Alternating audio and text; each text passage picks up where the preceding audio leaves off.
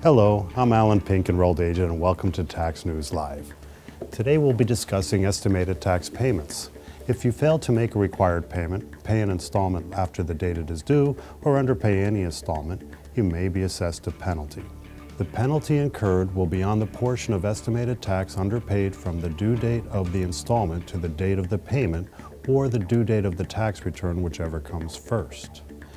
When you are figuring estimated tax payments, remember you must pay either 100% of last year's tax liability or 90% of your current year's tax liability, whichever is less. If you qualify as a high-income individual, remember there is a limit to the prior year's tax so be sure to make your payments based on these percentages.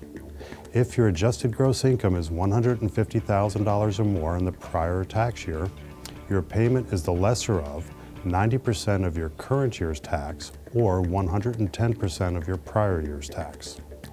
If your adjusted gross income is $1 million or more in the current year, your required estimate payment will be 90% of the current year's tax.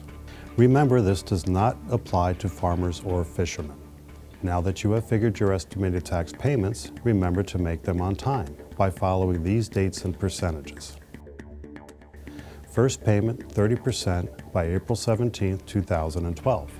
The second payment 40% by June 15, 2012. There is no third payment due by September 17, 2012 the fourth payment 30% by January 15, 2013. Keep these dates in mind and remember to make your required payments on time in order to avoid an estimate penalty.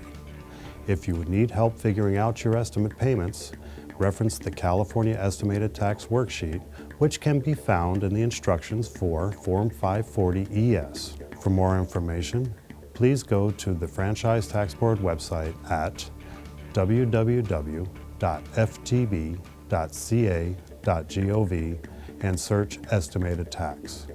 Thank you for watching. I am Alan Pink, Enrolled Agent, and this is Tax News Live.